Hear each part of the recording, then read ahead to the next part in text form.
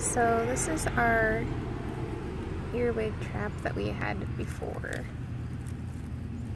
Um, as you can tell, it really needs to be emptied. It's like full of grossness. It smells really bad too. I'm just gonna empty it.